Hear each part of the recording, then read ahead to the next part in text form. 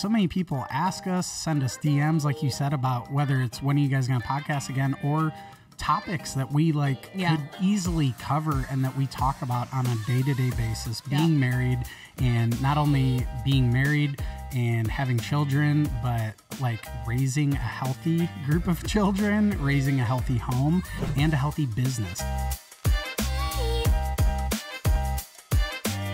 All right. Well, welcome back. It's been a few years. It's been a minute It's been a minute. And we've, over the years, have had a lot of people ask us, when are you guys going to podcast again? I used to listen to your podcasts and I'm wanting to hear more about life and family and business. And we just, the truth is, we just haven't done it. Okay. Yeah. We've been Doing a little busy. things. I will Yeah. say, so since we last podcasted, the year was 2020 and it was right before the pandemic hit. Yeah. And um, we were newly parents. And so Charlie, our firstborn, hadn't even turned one yet. I think she was six months old. So we were podcasting kind of in the middle of the night when she was asleep and then that was a fun season not sleeping at all. Yeah. Um, she'd wake up start crying we'd have In to the cut podcast. the yeah Um, and then also, so we have Charlie, and then we also had another baby since the hiatus, Goldie, and then um, of course the business Vast. I call it the third baby. the third Um, baby And since then, Vast has really blossomed and really grown into something I'm really proud of um, Yeah. at this point in 2024, but um, just very different. And so life looks different, things Yeah. look different. You look physically different. so do you you look Um, great it's been a minute it's been quite a uh, I mean, little truly, journey I, it's like a different person. Um, you married a different person I did. This is a different person. Um, but you look great.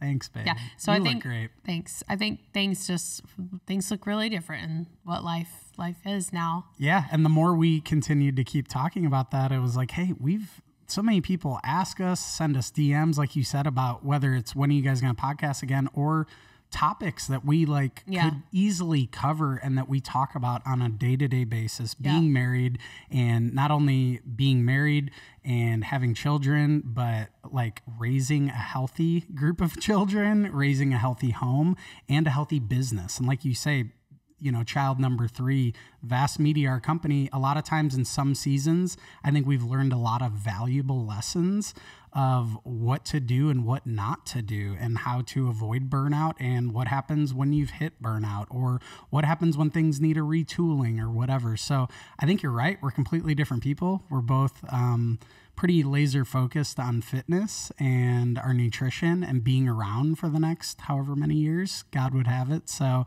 I'm excited to sit down and Yeah. reopen back up some chapters and talk about some stuff. Yeah. So we're going to talk about everything from, uh, you know, the in between, which means we're going to talk about everything from business to family to marriage to uh, fitness to sports. Fitness wasn't one of the F's before. It was like faith Yeah. and like fit, fitness, and we'll talk about faith for sure. But fitness is an invaluable Yeah. asset to our lives now for sure. And I both think that's one of the main secrets, some of the secret sauce to how not to burn out is Yeah. to keep those tanks, mind, body, and spirit you know filled in your life. And man was my body completely unhealthy but i thought i could run like an 18 year old and boy was i wrong. And changing some of those things has really made all the difference not only in my personal life but like our life. Yeah. like you're like you married a, a different person. It, it feels the same way when we both change and we both adapt. You kind of wake up in the morning and you're like i'm so excited like this is fresh this is Yeah. new and i think that's how god would have seasons go in your life so Yeah, that's good. All right. Well, let's jump in. let's do it Let's do it.